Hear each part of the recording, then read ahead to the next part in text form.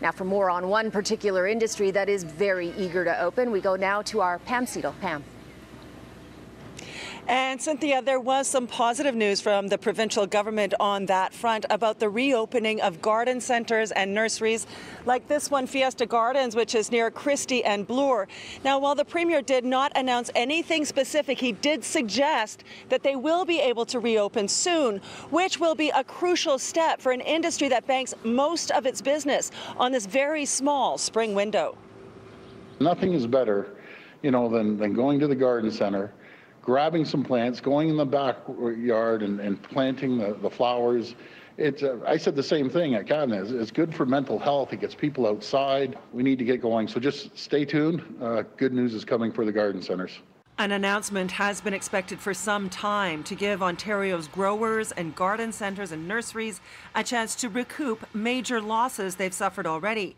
This picture is of Easter flowers from Niagara that had to be dumped because they couldn't be sold. So for industry insiders, it's a bit disappointing that Premier Ford hasn't yet pulled the trigger, but it's a step in the right direction. Pam, this is a vital time for garden centres. They do 80% of their sales six weeks of business. Their biggest weekends, of course, Mother's Day and the long weekend. If they don't get these sales, those plants are going to go to the compost pile. Our Frank Ferragine is not only Breakfast Television's resident gardener and owner of a large garden centre, Bradford Greenhouses, he's also a spokesperson for Landscape Ontario, the trade association representing the industry.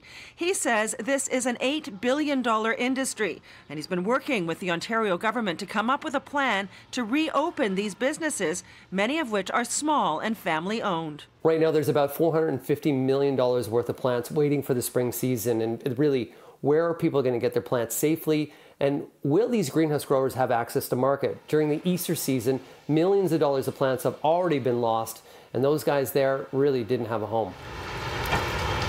Some garden centers have been open for online sales and curbside pickup, including Fiesta Gardens, which has managed to keep afloat.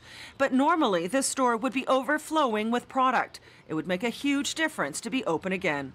We would have all our trees and shrubs in there. We would have all our perennials probably in by now. Um, all your early season annuals would be all nicely set up in, in containers and everything.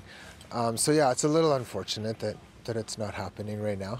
Dino Vergona agrees with the Premier that opening gardening centres would not only help these businesses, many of which are on the edge of collapse, but gardening as an activity is a wonderful way to enjoy the outdoors and can be important to mental health in these stressful times.